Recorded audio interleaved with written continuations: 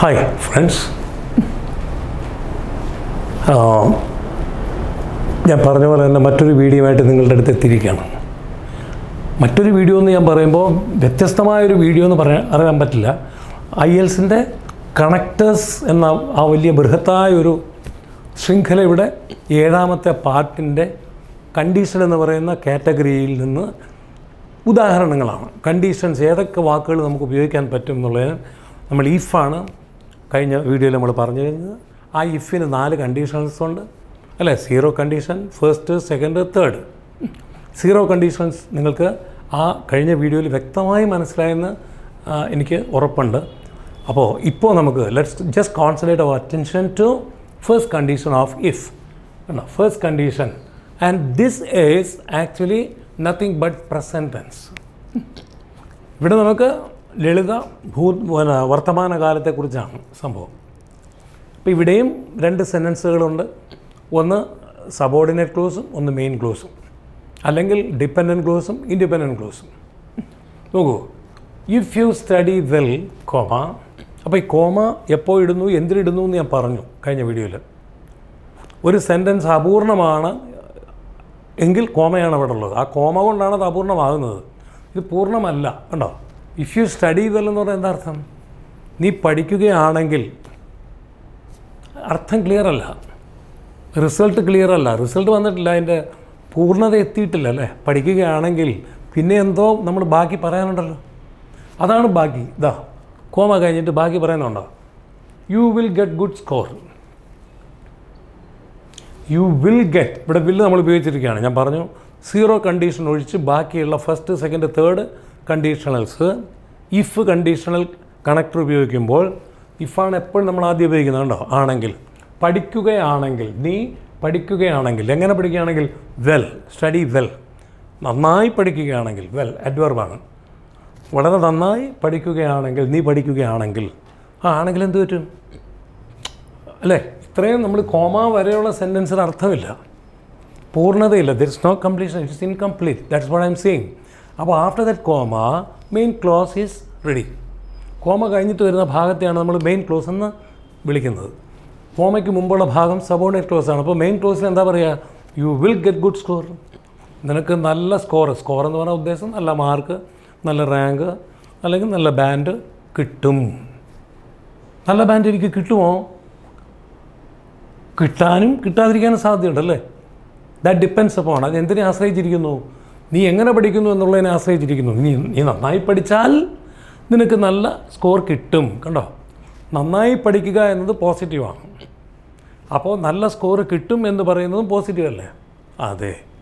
അതുകൊണ്ടാണ് ഞാൻ ആദ്യം കഴിഞ്ഞ വീഡിയോയിൽ പറഞ്ഞത് ഈ the reason is positive the result is also positive ഇത് റീസണാണ് കണ്ടീഷനാണ് പഠിച്ചാൽ കണ്ടീഷനാണ് പഠിച്ചു തുടങ്ങിയിട്ടില്ല. ഒരു അഡ്വൈസ് പോലെയാണ് പഠിച്ചാൽ നല്ല മാർക്ക് കിട്ടും. അപ്പോൾ റീസൺ അല്ലെങ്കിൽ കണ്ടീഷൻ പോസിറ്റീവ് ആണെങ്കിൽ റിസൾട്ടും പോസിറ്റീവ് ആണ്. കണ്ടീഷൻ നെഗറ്റീവ് ആണെങ്കിലോ? റിസൾട്ട് നെഗറ്റീവ് ആകും നെഗറ്റീവ് ആകും അപ്പോൾ ഇതിനെ നെഗറ്റീവായിട്ട് എങ്ങനെ പറയും? If you don't study well അല്ലേ? If you don't study do not study don't study well നന്നായി പഠിച്ചില്ലെങ്കിൽ പഠിക്കുന്നില്ലെങ്കിൽ യു വിൽ നോട്ട് ഗെറ്റ് കണ്ടോ? വില്ല് കഴിഞ്ഞൊരു നോട്ട് വരും. നെഗറ്റീവാണ് വിൽ നോട്ട് ഗെറ്റ് കിട്ടുകയില്ല. നന്നായി പഠിക്കുന്നില്ലെങ്കിൽ നല്ല സ്കോർ കിട്ടുകയില്ല. നന്നായി പഠിക്കുകയാണെങ്കിൽ നല്ല സ്കോർ കിട്ടും. ഇത് ഈ ഈ എക്സാമ്പിൾ ഇത് എന്താ മനസ്സിലാക്കിയത് നിങ്ങൾ സബോർഡിനേറ്റ് ക്ലോസ് അഥവാ കണ്ടീഷൻ പോസിറ്റീവ് ആണെങ്കിൽ മെയിൻ ക്ലോസ് അഥവാ റിസൾട്ട് പോസിറ്റീവ് ആയിരിക്കും. കണ്ടീഷൻ നെഗറ്റീവ് ആണെങ്കിൽ റിസൾട്ട് നെഗറ്റീവ് ആവും. Then another example say if you go now comma ഇപ്പോൾ നീ പോവുകയാണെങ്കിൽ പാചകം സെന്റൻസ് പൂർണ പൂർത്തി പൂർത്തിയായോ? ഇല്ലല്ലോ. പൂർത്തിയായിട്ടില്ല. പോവുകയാണെങ്കിൽ എന്തോ സംഭവിക്കും അല്ലേ? എന്താന്ന് നോക്കാം നമുക്ക്. ഇപ്പോൾ പോവുകയാണെങ്കിൽ പോസിറ്റീവാണ് അപ്പോൾ you will get the bus നിനക്ക് ബസ് കിട്ടും. അപ്പോൾ മെയിൻ ക്ലോസ് ആണിത്. കോമ കഴിഞ്ഞിട്ടുള്ളത് മെയിൻ ക്ലോസും കോമയ്ക്ക് മുമ്പുള്ളത് സബോർഡിനേറ്റ് ക്ലോസും സബോർഡിനേറ്റ് ക്ലോസ് എന്ന് പറഞ്ഞാൽ ഇൻഡിപെൻഡന്റ് ക്ലോസ് ആശ്രയിക്കുന്നതാണ്. മെയിൻ ക്ലോസ് എന്ന് പറഞ്ഞാൽ ഇൻഡിപെൻഡന്റ് ആണ്. ഈ ഇത് ഫ്രീ ആണ് ഇതാണ് നമുക്ക് ആവശ്യം. ഏറ്റവും പ്രധാനപ്പെട്ട ഭാഗം രണ്ടാമത്തതാണ്. അപ്പോൾ ആ രണ്ടാമത്തെ മെയിൻ അതുകൊണ്ടാണല്ലോ മെയിൻ എന്ന് പറയുന്നത്. അല്ലേ? Main officer subordinate officer subordinate എന്ന് പറഞ്ഞാൽ നമ്മുടെ ഓഫീസിൽ തന്നെ സീനിയർ ഓഫീസിന്റെ കീഴിൽ വർക്ക് ചെയ്യുന്നവരാണ് സബോർഡിനേറ്റേഴ്സ് എന്ന് പറയുന്നത് ഞാൻ അയാൾക്ക് കീഴിലാണ് കേട്ടോ. എന്നാ അപ്പോൾ ബസ് കിട്ടണമെങ്കിൽ നീ എന്ത് ചെയ്യണം? ഇപ്പോൾ പോകണം. നൗ ഇപ്പോൾ പോവുക ആണെങ്കിൽ. ആ എങ്കിൽ ആണെങ്കിൽ എങ്കിൽ എന്നുള്ളതാണ് ഇഫിന്റെ അർത്ഥം. അപ്പോൾ ഇപ്പോൾ പോവുകയാണെങ്കിൽ എന്ന് പറയുന്നത് പോസിറ്റീവ് കണ്ടീഷനാണ് അതുകൊണ്ട് മെയിൻ ക്ലോസ് റിസൾട്ടും പോസിറ്റീവായി you will get the best നിനക്ക് ബസ് കിട്ടുമെന്നുള്ളതും പോസിറ്റീവാണ് ഏറ്റവും എക്സാമ്പിൾ ഫോർ ഒരു ഉദാഹരണം കൂടി നോക്കൂ. If you love others comma others will love you too if you love others നീ മറ്റുള്ളവരെ സ്നേഹിക്കുകയാണെങ്കിൽ condition subordinate clause others will love you too മറ്റുള്ളവരും നിന്നെ സ്നേഹിക്കും. Others will love you too എന്ന് പറഞ്ഞാൽ അതേഴ്സ് ഓൾസോ ലവ് യു നീ മറ്റുള്ളവരെ സ്നേഹിക്കുകയാണെങ്കിൽ മറ്റുള്ളവരും നിന്നെ സ്നേഹിക്കും. നെഗറ്റീവ് ആണെങ്കിലോ? നെഗറ്റീവാണ് റിസൾട്ടും അല്ലേ? ഇത് റിസൾട്ടാണ്. കോമ കഴിഞ്ഞ് വരുന്ന റിസൾട്ടാണ്. ഫലമാണ്. അത് മെയിൻ മെയിൻ ക്ലോസ് ആണ് കോമയ്ക്ക് മുമ്പുള്ളത് സബോർഡിനേറ്റ് ക്ലോസ് ആണ് അപ്പോൾ നമ്മൾ ഈ സബോർഡിനേറ്റ് ക്ലോസ് എന്ന് പറയുന്ന ഡിപ്പെൻഡന്റ് ക്ലോസിലാണ് ഇഫ് എന്ന് പറയുന്ന കണക്ടർ ഉപയോഗിക്കേണ്ടത്. അത് ഇഫ് എന്നല്ല ഏത് കണക്ടർ? ഇഫ് ആയാലും വെൻ ആയാലും ഇനോഡർ ടു ആയാലും ആസ്ഫറസ് ആയാലും ഏതായാലും. സബോർഡിനേറ്റ് ക്ലോസിലാണത് വരാറ്.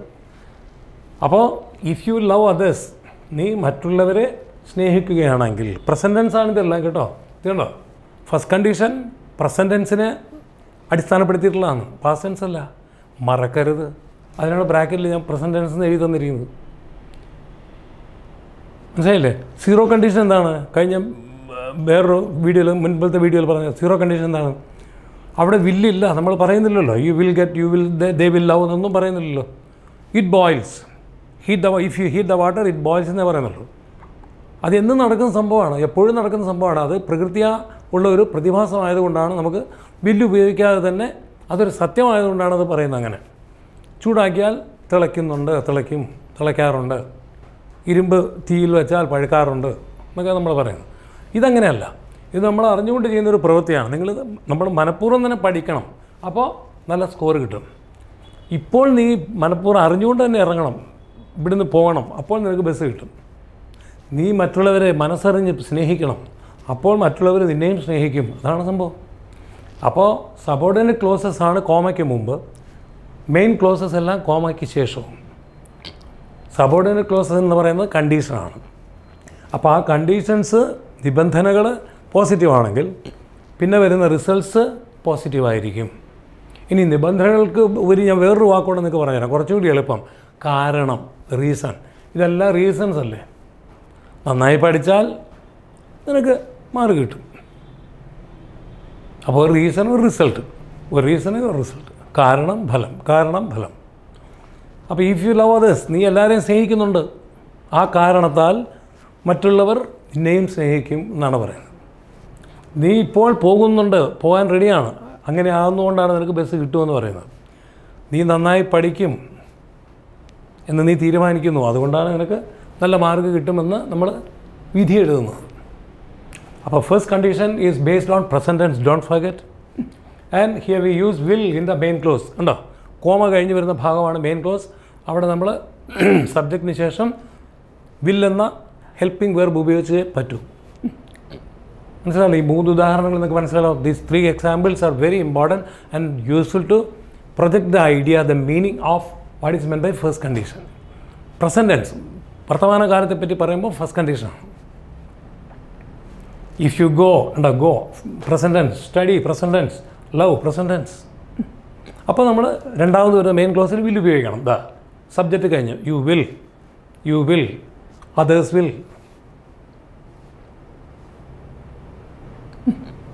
it's clear so മറ്റൊരു ബ്രീഫ് വീഡിയോ അതുകൂടി നിങ്ങൾക്ക് ഞാൻ സപ്ലൈ ചെയ്തു. നിങ്ങളത് വളരെ താല്പര്യത്തോടുകൂടി വാച്ച് ചെയ്ത് അതർത്ഥം മനസ്സിലാക്കി നിങ്ങൾക്കായി ഉപയോഗിക്കുക. I'm very much thankful and grateful to you for watching my video again will meet you okay ഇനി നമ്മൾ വീണ്ടും കണ്ടുമുട്ടാം. അതുവരെ വളരെ സന്തോഷവാന്മാരായും ആരോഗ്യവാന്മാരായും പുഞ്ചിരിക്കുന്ന മുഖത്തോടു കൂടിയും ഇരിക്കുക. വീണ്ടും കാണാം. Okay bye